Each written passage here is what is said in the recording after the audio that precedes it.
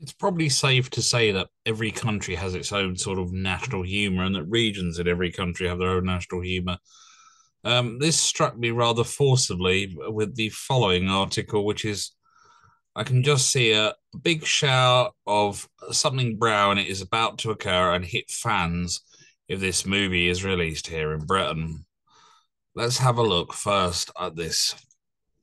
Irish rap trio Kneecap hit Sundance with Smoky Stunt as Sony Pictures classic buys Michael Fassbender star. Oh, uh, this is the rap trio Kneecap, who are from Belfast. They have a habit of turning up and doing stunts like this to promote themselves. Um, if you're not familiar with them, I'll say look them up. I'm not going to put a link to their music because YouTube tends to dislike when you do links to bands or anything like that. It seems to think you're trying to sell the band or promote them and tends to throw a wobbly about it. But you may find them interesting. You do them. I warn you, you will need a very broad sense of humor for them. A very, very broad sense of humor. Also, as, as I rap in Irish half the time, not Gaelic. Please do not call it that. It is Irish, not Gaelic.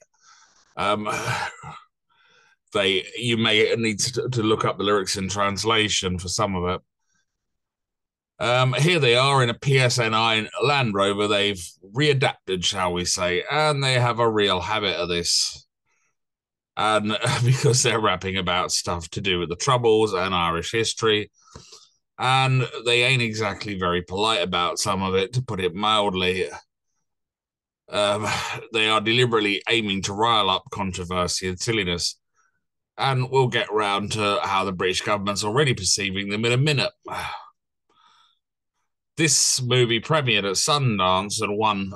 Has apparently proved to be quite a hit with Michael Fassbender, who is half Irish and half German, although as I remember, he grew up more in Ireland than Germany in it.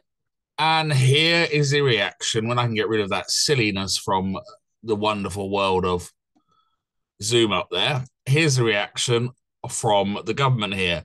Kneecap Belfast rap group take legal action after UK blocks grant. Here we have the three members, Móglaí Bap, DJ Próvaí, and Mo Chara. They're an Irish speaking rap trio from Belfast. At Balaclava in the middle is more than enough to cause annoyance, I should imagine, and cause people to be spitting out their coffee over keyboards. Um, the Belfast rap group Kneecap is planning to take legal action after it was blocked from getting a £15,000 grant after the UK government objected. Um, Kemi Badenoch apparently said they did not want to hand taxpayers' money to people that oppose the UK United Kingdom itself. Kneecap's representative said applied for the funding under the Music Export Growth Scheme. Not heard of this. I've heard of a fair few of these art schemes. You get loads of them. The paperwork for most of them is endless, and they fund fund all sorts of things. This is a government-backed initiative which offers grants of up to fifty thousand pound to UK registered music companies to promote artists in overseas markets. On Friday, Phoenix Law, pass, based in Belfast, that's an interesting name. I'll come back to why I find it interesting in three about three seconds. Said they're being interested by the ban to take legal proceedings. The phoenix is used as a symbol in Irish republicanism to indicate rebirth and is connected with the Fenians from the 1860s. I'm sure that name Phoenix Law is just coincidental, though. Um, she, Miss Badenoch, has today been put on notice their decision is unlawful, the firm said on social media. And who are Kneecap? After I just give me eye rub there. It's a bit dusty here. I've been wandering around doing some dusty work earlier. Kneecap are an Irish speaking trio from West Belfast who openly co- caught controversy with their provocative lyrics and merchandiser. Um, court controversy is understating it. You really will have to go and listen to them to to see what I mean. I think that this picture though will, will give you a good idea of how controversial they are. You've got a bloke there with the, the Irish tricolour on He's a balaclava. That's a start. Two dogs on cha- on leash leashes, and the two other lads sitting on the the uh, on the car.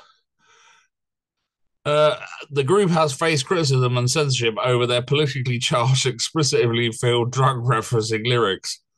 Yeah, their lyrics are incredibly full of drug referencing.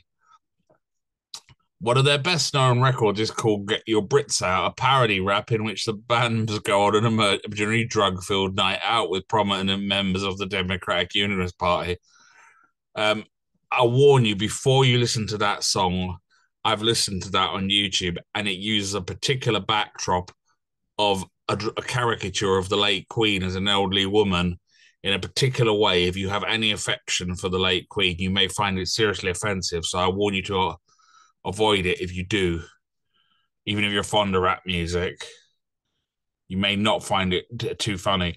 In 2019, ahead of a headline slot at the West Belfast Festival, the group unveiled a mural of a burning police vehicle with the message the RUC, Royal Ulster Constabulary, are not welcome, written in Irish. Kneecap have actively welcomed the controversy they've created, stating that they like to get people riled up and arguing that art should be challenging. They also point out that much of their music is tongue in cheek.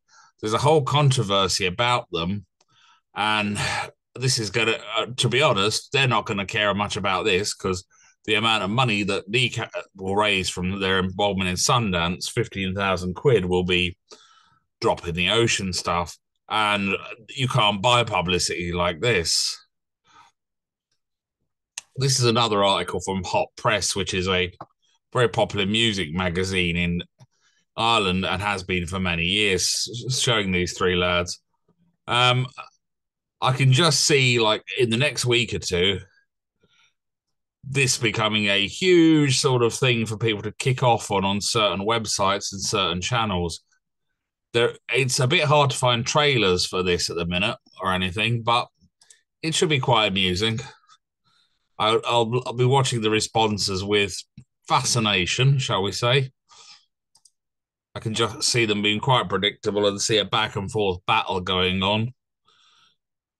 I could just see some particular right wing channels like um, that bloke Paz, who's supposedly an ex paratrooper, for example. I've watched an odd bit of him going mad about this and other people. Um, I will say I don't find some of their some of their output as a as rappers all that you know. I think they're deliberately being over the edge sometimes and deliberately trying to wind people up just for the sake of it, and they know what they're doing.